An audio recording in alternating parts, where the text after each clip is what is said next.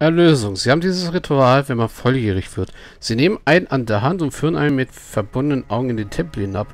Und das soll einem sündhaften Leben entsprechen. Sie sagen einem nicht, wohin man geht. Bei meinem Ritual schwitze ich wie verrückt. Er zwinkert dir zu.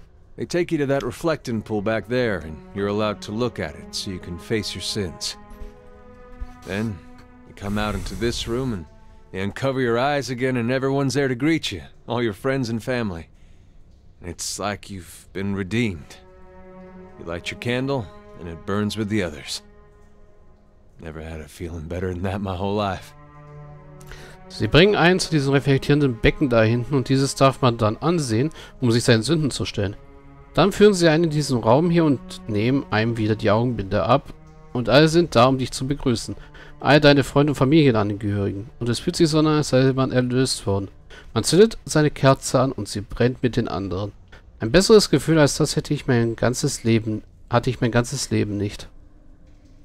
Er das Augen verweilen auf den Kerzen um einen Moment und einen Moment lang scheint er ein jüngerer Mann zu sein. The candles are still burning.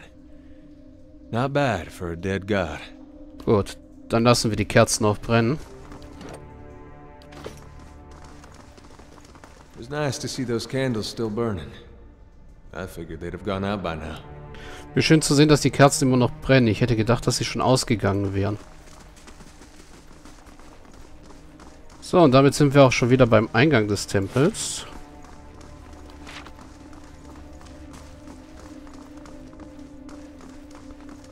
So, Wirtan, jetzt äh, stehst du mir mal Rede und Antwort. Hello! Als du dich ihm näherst, lächelt Wirtan nervös. Ich glaube, das Schlimmste ist überstanden. Der Arm schmerzt etwas weniger. Er zögert. Du warst ziemlich lange da unten. Hast du etwas gefunden? Seine Augen schießen ständig auf den Ruinen hin und her.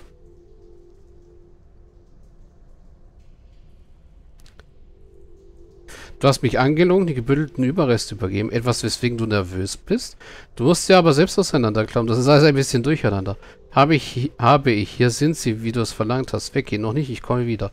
Etwas, weswegen du nervös bist? Nein, natürlich nicht, aber es ist niemals gut, an einem Ort zu ver an diesem Ort zu verweilen. Das ist alles. Wirther wirft dir einen durchdringenden Blick zu. Hast du irgendetwas gefunden? Du hast mich angelogen. Was? Wirther grinst unsicher. Ich habe alles klar dargelegt, auch die damit verbundenen Risiken. Ist es das, was du meinst? Ich sagte dir, dass es dort Spinnen geben würde. Außerdem werde ich die natürlich bezahlen für die Unannehmlichkeiten. Du und ich wissen ganz genau, was ich da unten gesehen habe und was sie mir erzählt haben. Wird er in die Luft heben. Wenn du mich noch, noch mal anlügst, werde ich dir den Schädel in zwei spalten. Für einen ehrlichen Mann bist du aber ziemlich nervös. Liegt dir vielleicht etwas auf dem Gewissen? Wirtan öffnet den Mund, um zu protestieren, etwas an deinem Gesichtsausdruck, aber hält ihn auf. Er schluckt nervös und schaut weg. Also letztendlich spricht es seine Stimme leise. Wie hast du... Wie konntest du sie nur verraten? Sie vertrauten dir. Dieser Ort ist voller Schatten, die Geister jener, die du umgebracht hast. Wie konntest du nur? Wirtan gibt ein merkwürdiges, buntes Geräusch von sich. Verraten? Ich war nie einer von ihnen, diesen verrückten Jüngern des zersplitterten Gottes. Wenn ich sie alle aus dem Dorf hätte treiben können, hätte, wenn... Du verstehst das nicht. Ich versuchte ihnen zu helfen. Wirklich. Jeden Tag, jeden einzelnen Tag ging ich zu diesem Tempel und warte sie. Ich sagte ihnen, sie würden mit dem Feuer spielen und das und dass Wedricks Geduld nicht ewig halten würde. Und jedes Mal taten sie meine Warnung ab. Als ob ich nicht wüsste, von was ich redete. Als ob ich keine Opfer bringen musste, um zu versuchen, ihnen zu helfen. Ich hätte gut und gerne zusammen mit ihnen verhaftet werden können. Was ist passiert, also hast du sie umgebracht, weil sie dir nicht zuhören wollten? Was ist passiert? Redrick ließ verlauten, dass ihre Verhaftung bevorstehen würde, dass er sie aus dem Tempel schleifen und in den Kerker werfen würde. Aber nein, sie wollten nicht hören. Direktris, sie sagte, dass sie wiedergeboren würden, sollte etwas passieren und dass sie keine Angst hätte. Ich überzeugte sie, sich wenigstens zu verstecken. Im Tempel gibt es diese Schatzkammer, die voller alter Reliquien ist, Gold und solchen Dingen. Ich dachte, ich dachte, ich könnte sich, sie könnte sich darin verstecken. Und sie könnten sich drin verstecken und dass sie auch nach dem Abzug der Wachen etwas gehabt hätten, um sich freies Geleit aus dem Wirrwarr zu erkaufen. Zurück nach Edir. Als ich den Männern aber sagte, dass die Priester schon weggegangen seien, sie befahlen die Versiegelung des Tempels. Ich konnte nicht mehr hineingehen. Wittern schüttelte den Kopf. Es gab nichts mehr, was ich tun konnte. Eddas Augen sind groß und ungläubig. Nichts, was du tun konntest, außer es jemand zu erzählen. Das Dorf zusammentrommeln, einen Rettungszug zu organisieren. Wenn ich, wenn ich es gewusst hätte, mit den eigenen Händen hätte ich sie, hätte ich sie ausgegraben. Sie gehörten zu den letzten anständigen Leuten in diesem Loch. Jetzt haben wir nur noch Leute wie die übrig. Du hättest dich melden können, Redrick, die Wahrheit sagen. Warum hast du mich da hinuntergeschickt? Anscheinend haben diese Priester das Schicksal selbst über sich gemacht. Du wetterster Bastard. Du hast sie im Stich gelassen, um seine eigene Haut zu retten. Du hättest Redrick die Wahrheit sagen können. Birta nickt langsam. Das hätte ich und es hätte mich ruiniert. Vielleicht sogar getötet, aber ich hätte sie retten können. Er schaut mit feuchten Augen zu ihr hoch. Das habe ich nicht. Ich habe dir gesagt, wie es gelaufen ist, sagt Wirta mit rauer Stimme. Ich habe dir gesagt, was geschehen ist. Jetzt bist du wohl an der Reihe, deine Entscheidung zu treffen. Für Wiedergutmachung ist es noch nicht zu spät. Wenn ich dich jemals wieder in Goldhall sehe, bist du ein toter Mann. Wirtan, du bist ein Feigling, aber das ist kein Verbrechen. Gib mir dein Geld und geh mir aus den Augen. Du hast dich der Gerechtigkeit lang genug entzogen, heute aber nicht. Ich will nur das Geld, das du mir versprochen hast. Es ist nicht, nicht zu spät für Wiedergutmachung. Wörtern hatte die Luft angehalten, atmete jetzt aber aus. Ich weiß nicht, ob ich das stimmt. Jahre sind schon vergangen. Was soll ich denn jetzt machen? Begrab ihre Knochen, versuche ein besseres Leben zu leben, als du es bisher getan hast. Wörtern betrachtet die sterblichen Überreste. Er fährt sich mit einer Hand durchs Haar und stößt abermals ein kehliges Atemgeräusch aus. Das kann ich machen, das kann ich. Ich werde sie zuletzt in Ruhe legen und versuchen, ihnen irgendwie gerecht zu werden. Danke sehr, wirklich, dafür, was du getan hast, dass du mir eine zweite Chance gegeben hast. Ich werde sie gut zu nutzen wissen. Ja, wir sind jetzt wohltätig. Zwei. Das bringt uns leider nur nichts an unserer Gesinnung.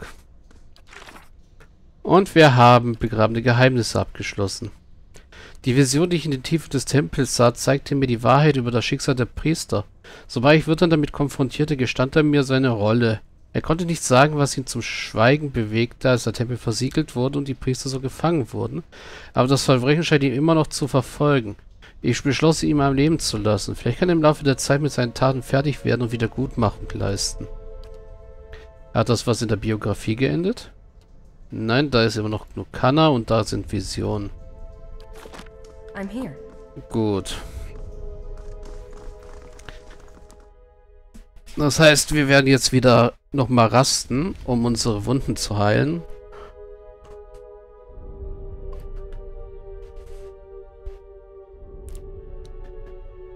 Wobei ich eigentlich gewillt bin, einfach direkt loszureisen und unterwegs zu rasten, weil Rastvorräte werden wir finden und der Rastbonus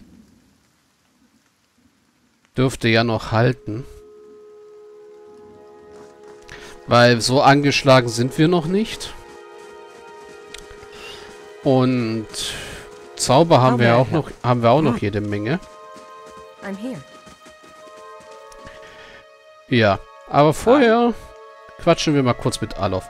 Alof sieht ihn mit ruhiger Aufmerksamkeit an. Wie kann ich zu Diensten sein? Erzähl mir von Edir, wie lange warst du in Gorte? Hattest du einen Vorschlag, was ich als nächstes tun sollte? Erzähl mir von Edir. Ich bin jetzt schon seit mehr als einem Jahr fort, aber ich vermute, die Wälder und Felder von Edir werde ich für immer als Heimat ansehen. Hinter uns liegen, hinter uns liegen tausende Jahre von Geschichte und Brauchtum und damit geht ein gewisses Gefühl von Würde und Verantwortung einher.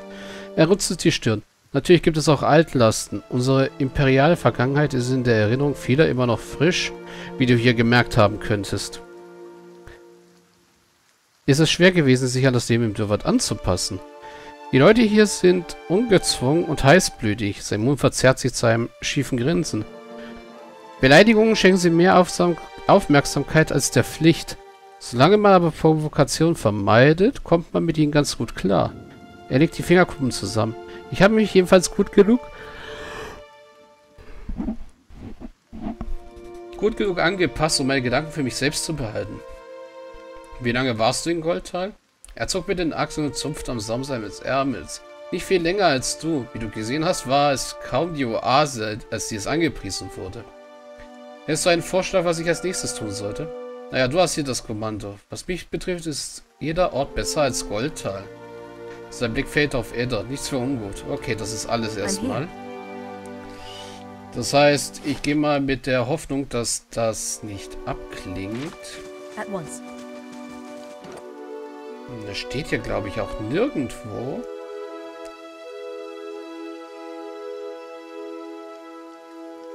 Wie lang der Rastbonus hält, das ist es hier. Also, ob wenn ich jetzt außerhalb raste, ob er dann weg ist. Aber ich wag's einfach mal und begebe mich jetzt in den Esternwald.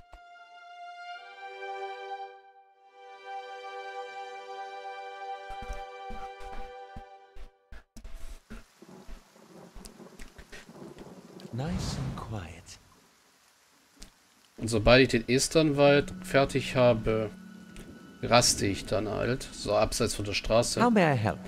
Zu Redricks Festung im Osten, nach. Goldtal im Westen. Und ja, Aloch wollte ich dabei eigentlich nicht auswählen. In einige der Bäume wurden seltsame Symbole geritzt, die so rot und rau wie Wunschhoff sind. Ja, da hat entweder jemand Markierungen gesetzt oder so komische Warnungen oder hat die Bäume hier verflucht. Ja, das könnte beides gut möglich sein.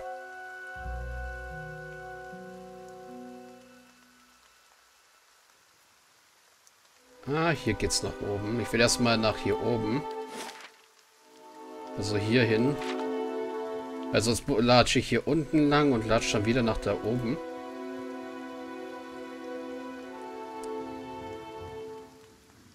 Ja, den Baum kann ich mir ansehen, sobald wir hier unten wieder unten sind.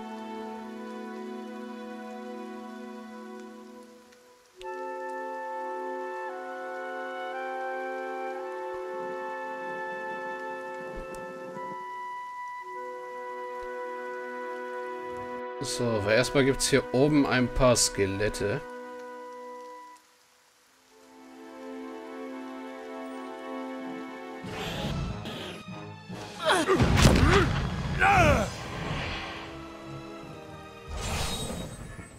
I'll see what I can find. So. Das eine Skelett war jetzt nicht weiter tragisch.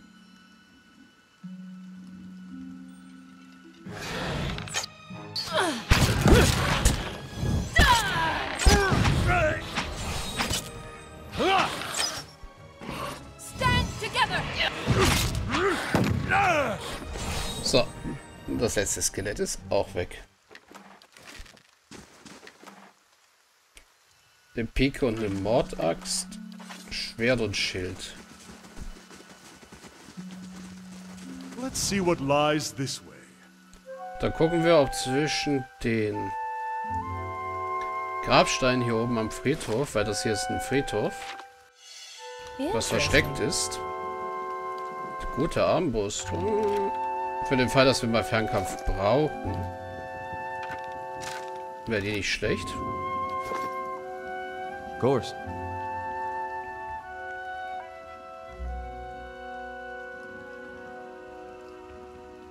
Wobei ich glaube, die Armbrust gehört gar nicht in unser Portfolio. Weil wir sind Bauer. Ja, Jagdbogen eigentlich.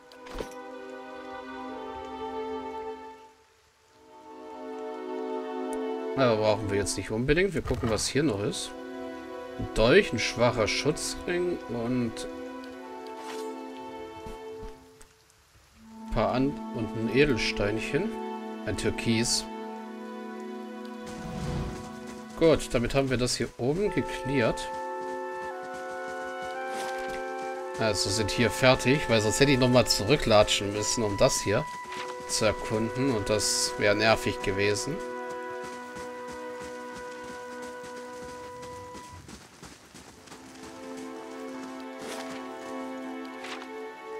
Nice and quiet. Ja, der Baum hier ist wahrscheinlich auch markiert, oder? Diese Schnitzereien glänzen mit frischem Saft, ja. Eine verbrannte Dame.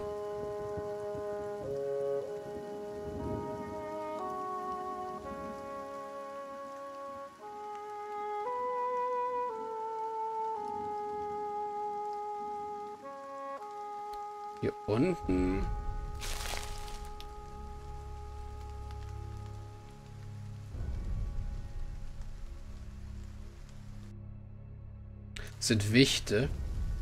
Wichte können wieder ein bisschen äh, böser sein. Vor allem, wenn es viele sind.